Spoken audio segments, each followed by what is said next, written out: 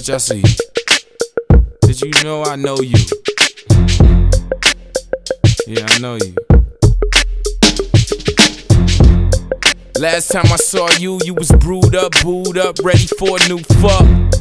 Last time you saw me, I was PI to the motherfucking MP. What? And lately I heard you's a broke bitch living in a lower class suburb. And lately the word is I live in a suburb and I don't fuck with birds. Pump on the block, sell a nigga rocks, bell a nigga out, but she tried to plot on a nigga. Vacant lot, one shot, bitch died, go figure. He used to pay this bitch, gave her lots of shit. Fuck's wrong with this nigga, man? He used to bring it through the hood, treat the bitch too fucking good, my opinion. We used to blaze with the bitch, faded off the lick, she X-rated the clip.